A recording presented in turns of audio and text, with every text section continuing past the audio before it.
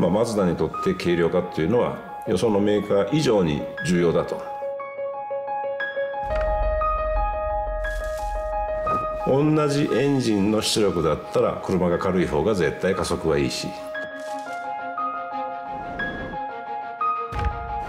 キビキビ動くけれども安心して安定している。軽くてもより安全。今大事にしてるのはやっぱり思い通りに走るということ。